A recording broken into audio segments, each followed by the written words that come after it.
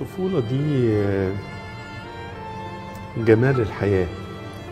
وجود الأطفال ده جمال الحياة. أنا عشت طفولة حلوة سعيدة في أسرة متوسطة يعني مش حاجة متميزة لكن عشت طفولتي يعني طفولة كويسة خالص. بيصعب عليا الطفل المحروم. محروم من أي حاجة حتى المحروم من لعبة.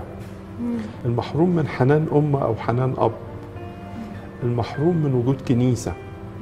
المحروم من وجود كتاب مقدس عنده. المحروم من مدرسة تقدره وتكتشفه. المحروم من كوباية المية. أنا خدمت أماكن ما فيهاش مية.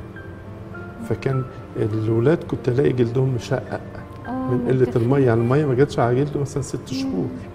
فالجلد تلاقي مشقق. محروم مثلا من وجود ترابيزة أو مكتب يذاكر عليه.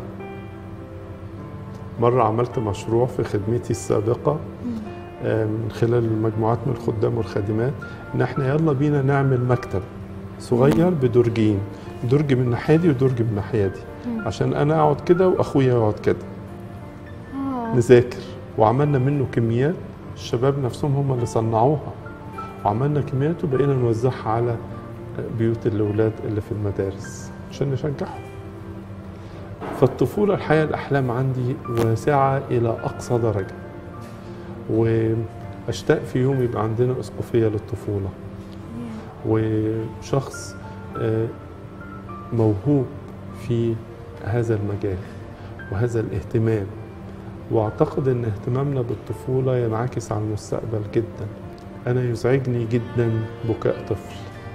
طفل يعيط الحكاية دي يعني تحركني كده من جوايا فبشعر إن الأطفال سواء شقاي أو هاديين سواء ولاد أو بنات أحس كده انهم الورد بتاع الحياة.